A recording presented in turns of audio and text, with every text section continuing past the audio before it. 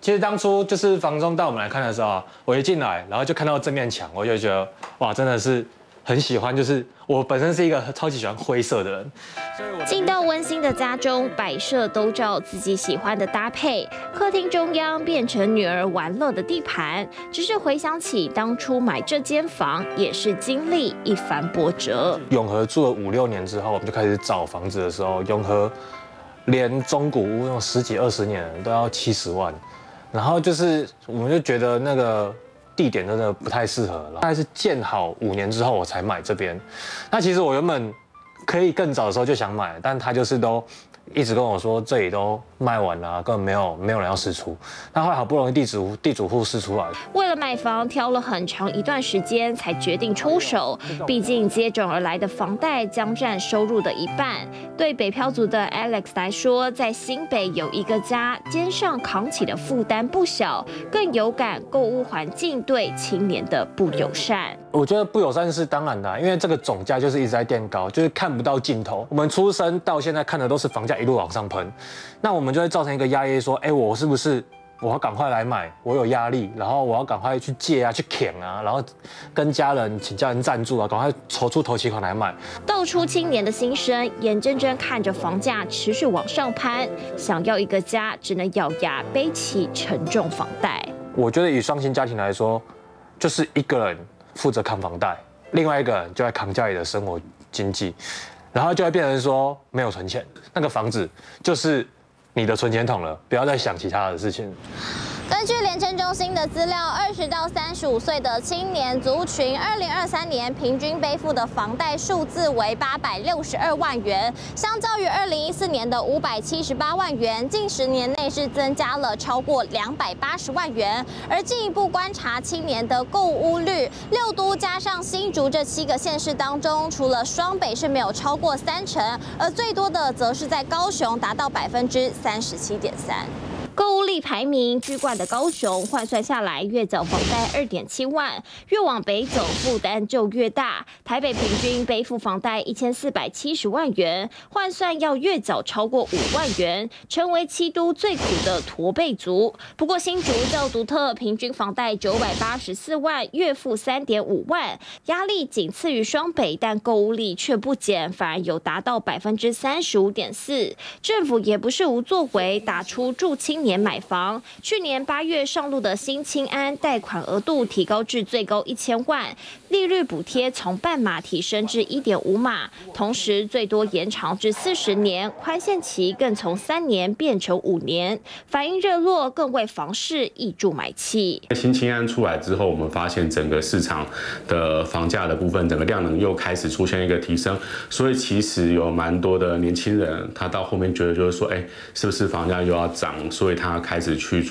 努力的去筹所谓的自备款，你用新青安四十年的部分，你五万都打了六折，每个月只要缴三万，哎，这会让很多人觉得说，我的购买力是不是提升了？然后你在购买力觉得提升之外，哈，那你当然就是有可能去买到更贵的一个产品。根据内政部不动产资讯平台的数据，去年第三季新增的买房平均贷款期数三百零五期，比第二季多了十期，换算下来，平均贷款年期超过二十五点四年，也创下统计以来的新高纪录。再细看最长贷款年期，落在南部的高雄与台南，分别为三百四十八期与三百三十六期。而且季增期数也几乎并驾齐驱，高雄季增四十六期，台南季增三十五期。在台南、高雄，因为有一些科技的投资，其实过去几年的一个房地产的状况表现就整个转趋热络。好，那在这些地方，其实因为它的一个总价。